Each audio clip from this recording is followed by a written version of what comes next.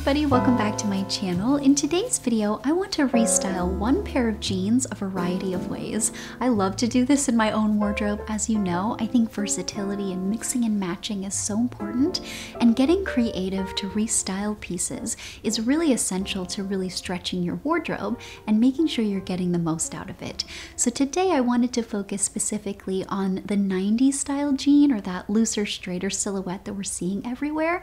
It's being marketed as a trend, but I don't think it's a trend at all. I think it's something that's really timeless and works really well for my own personal style and wardrobe.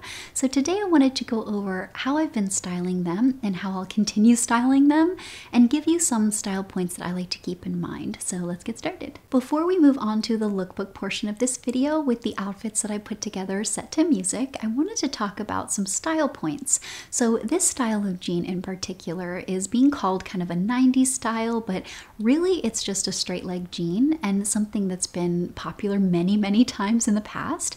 And it's something that you can find really easily secondhand and vintage. So always check there first. You can find some really great vintage Levi's and things like that. And for style points in particular, I'm noticing that it's it's really largely classified by being straighter throughout the hip and then straight down to the ground in either an oversized or standard fit, depending on your preferences, and then either cropped at the ankle or all the way down to the floor, either past your feet or at your feet. So, for actually styling these jeans, I like to keep a couple things in mind for me and my personal wardrobe. It tends to be the most versatile and really go with what I have. And so, that is to allow the shape of the jeans to really be the focus. So, for me, that means wearing something a little bit slimmer or closer to the body up top, maybe something a little bit cropped and boxy, I think looks really great because then it amplifies the kind of boxiness of the jeans. And then for shoes, I really love my ankles out all the time.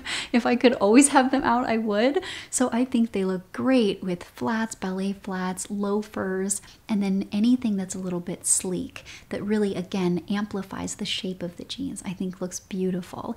But you can find these everywhere, either in old stock photos from celebrities in the past, and then even things that you're seeing now from street style and on Instagram. So I will link a bunch down below for you for some inspiration, but I find that the key, the like top key for this is to really fixate on what's going to work for you based on what you know about yourself and your style, and then work this around that. So for me, that tends to be slightly shorter in the length and a little bit slimmer, not too too oversized, because then it doesn't work with the rest of the proportions that I already own. So I hope that that's helpful.